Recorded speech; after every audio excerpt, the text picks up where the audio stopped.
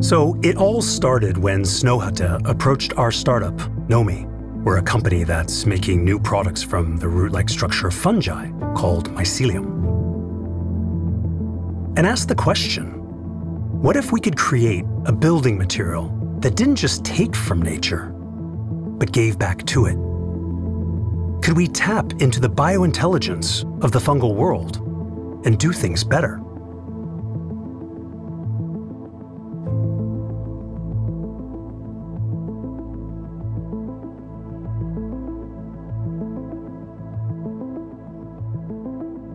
Using a forest fungus and waste products from agriculture, paper production, things like leftovers from wool and dairy whey, we literally grew a soundproofing material that is naturally fire resistant, produces no volatile chemicals, and is 100% compostable in nature.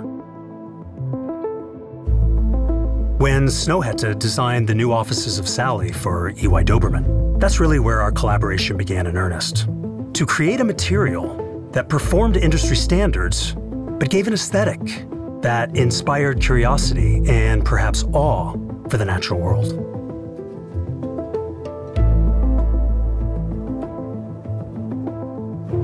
For me, fungi are amazing because they teach us how life, how all of life is interdependent.